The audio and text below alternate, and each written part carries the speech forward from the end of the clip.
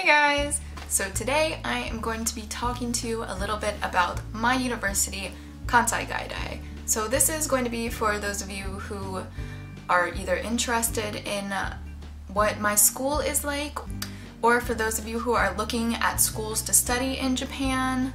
Let's start off with like the size of my school and like what the campus is like. So there are, I believe, 13,000 students at my school, which for me is a huge school. I think it's 13,000. Now I'm questioning that number. I could be wrong. I think it's 13,000, but like don't hold me to that. My school back at home is only 3,000, so this school is absolutely massive compared to my school back home. There are a ton of Japanese students and it is a very small campus. You can pretty much walk from one end to the other end in five minutes or less. So between classes, there are tons of students. It is like wading through a river of people. You gotta watch out so you don't run into people. So it's a big population of students, but a very small campus. There are, I believe, like seven buildings or somewhere around there. One of the things I like about all of the buildings is that they're basically all attached with either like overhangs or with over walkways. So if it's raining, you can basically walk over the entire campus and just walk underneath the walkways and you won't get wet. It's amazing. So in terms of the buildings you use when you are a foreign exchange student, the main one is the CIE, which is the Center for International Education. This is probably where most of your classes will be. That's where half of my classes are. So in this building, they have the CIE office where you can ask all of your questions about classes, about clubs, about basically anything. In that building, they also have the lounge where you can hang out. It's mostly foreign exchange students, but a lot of Japanese students also like to go in there. Your mailbox is in this building, so that's where all your important information will go. The other building, which I believe is the only other building um, foreign exchange students have classes, and that's building 7, where I have two of my classes. This is just one of the um, classroom buildings, nothing special about that. I will have a campus tour up within the next week, hopefully, where I will show you all of the buildings that are relevant to a foreign exchange student's life in terms of food options on campus, you have a lot of good options. There are three cafeterias. I've only been to one of them, so it's the only one I can attest to, but it is really cheap and really good Japanese food. They have a big plate of curry that you can get for $2.30 and it's really good. They also have a fried chicken bowl that comes with fried chicken on top of rice and it comes with miso soup and you get that for I think $4 and it's really good. I love that. Other than the three cafeterias, we also have Seattle's Best Coffee, which is a cafe where you can get sandwiches, tons of different types of coffee. Also in the same place as the cafe, we also have McDonald's and they have a cute little station where you can just go and pick up things that you want or you can order stuff. We also have a convenience store on campus which has all your typical convenience store food, tons of drinks, snacks. They also provide um, onigiri and like bento boxes that are made every day. All those things are really moderately priced, so nothing on campus is going to be expensive. You can always eat affordably on campus. But I will warn you that the lunch period, which is from 12.15 to 1.15, is absolutely packed because that is when no one has classes and everyone eats lunch. The cafeteria is completely full. The convenience store has lines to the back of the store.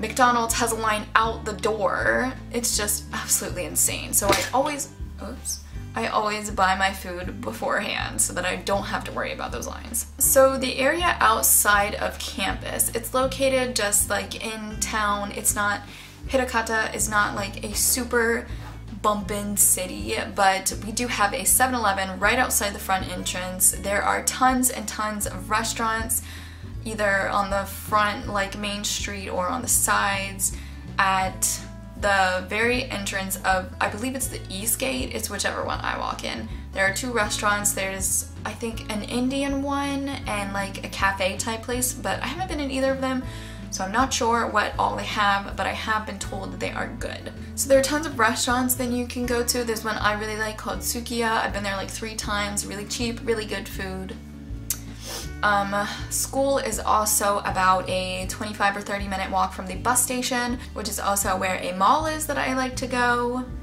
There is a lot of stuff in that area that you can go do and hang out. There's also a Starbucks. There are actually two Starbucks right around the bus station. Um, let's see. Hmm. And the school is also about a 25 minute walk from the seminar houses. I will also be having a dorm tour. I live in Seminar House 3, so I will go into more detail about the seminar houses in that video. Alright, let's get into classes and teachers. So, um, Kansai Gaidai doesn't offer the biggest variety of classes, but I think they have enough. The classes that I am taking are Japanese level 1, let's see, Shinto, Koto, and Japanese cultural history, ancient and medieval. I do believe all of the teachers here are American except for the Japanese language teacher and the Koto teacher. The Koto teacher is Japanese and the class is 100% in Japanese, but that's okay because if you want to take that class and you don't know Japanese, don't worry, I don't know very much Japanese and it's perfectly fine. She just demonstrates what she wants you to do and that's basically all you need to know. You don't really need to understand what she's saying. Okay, so they offer classes like history, religion, business, economics, I think. Um, obviously lots of Japanese classes. They also offer kanji classes where you can learn kanji, kanji, kanji and do readings in Japanese. They also have lots of like cultural classes like pop media. They have like Deaf World Japan, which is about disabilities in Japan. They also have one on death and like monsters and that type of stuff, which I heard is pretty cool. They list all of their classes with all the syllabi and everything on their website, so you can go look there if you want to know more about what classes they offer. In my experience, I think the classes are pretty easy, at least the ones that I have. The ones that I have are not homework intensive, so the only assignments I have had have been reading responses, like just very little reading responses, and I have to write three essays in total this semester, which is like hardly any compared to what I've had to write in the past. Japanese, obviously you'll have to do work in the workbook for homework and do some studying. Other than that, the only homework is doing readings for your classes every day. Also, from my experience, the teachers are pretty nice. I like all of my teachers. Um, since I'm only taking four classes, I have my Japanese teacher, my Japanese Koto teacher, and then two American teachers. All of them are super nice. My Japanese teacher is the nicest lady and the funniest lady in the world. The teachers are pretty understanding, though at least the Japanese teachers have pretty strict rules about tests, so you have to take the test on the day that it's scheduled. You can't reschedule a makeup exam. So just be aware of that. Though I will say that I have heard from other people that they do have a lot of homework and the classes are kind of hard. I knew that I was taking fairly easy classes and this is what I wanted to do. I didn't want super work heavy and intense classes because I am here being in Japan to travel and not just to go to school.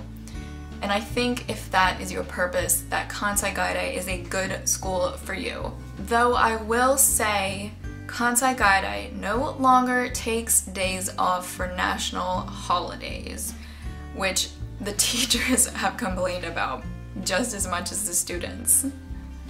I don't know why they decided not to take national holidays anymore, but that's what they do. So the only day that you get off, at least in the fall semester, is for the school's Halloween festival, so you only get basically one and a half days off for that.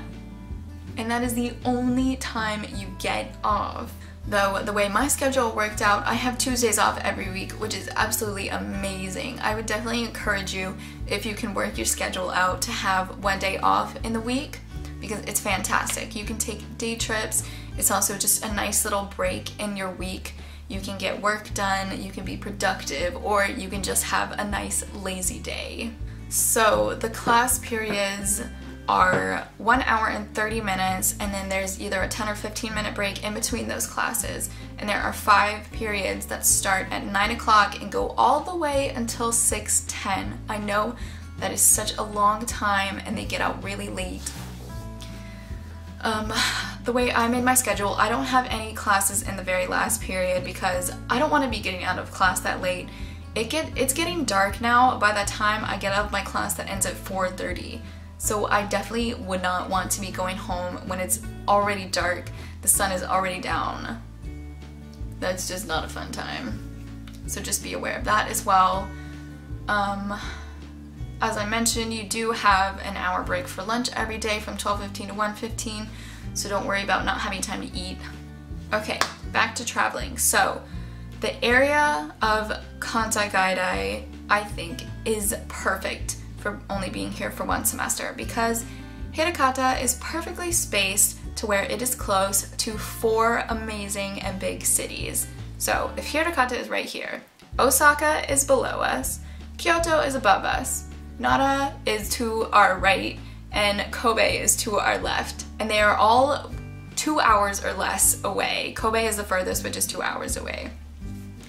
So you can basically travel to all four of those cities on a weekend and it is the most amazing thing ever. I am so glad I'm in this area because I could do so much traveling and it is amazing. They are such great cities, tons of cool stuff to do. So it's a really great area to be if you're only going to be here for a short while. I covered everything on my list, but I feel like I still have more to say and I just can't think of it.